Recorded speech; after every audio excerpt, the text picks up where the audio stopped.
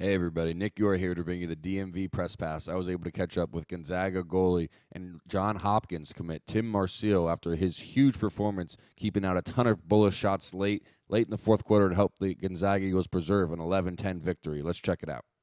All right, so just had a crazy finish here. Gonzaga versus Bullis, 11-10 Gonzaga win. We have goalie Tim Marcille right here.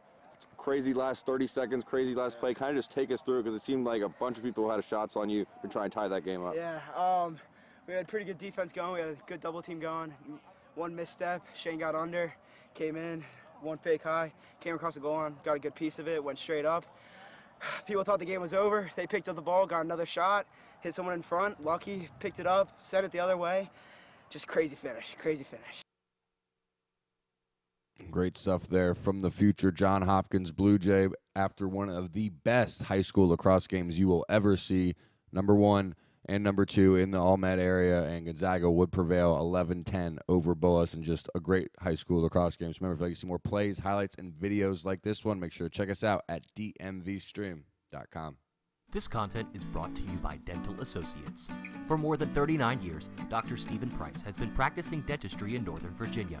A member of the American Dental Association, the Northern Virginia Dental Society, and the Virginia Dental Society, Price is considered an expert in Invisalign continues to be an award winning innovator in the industry.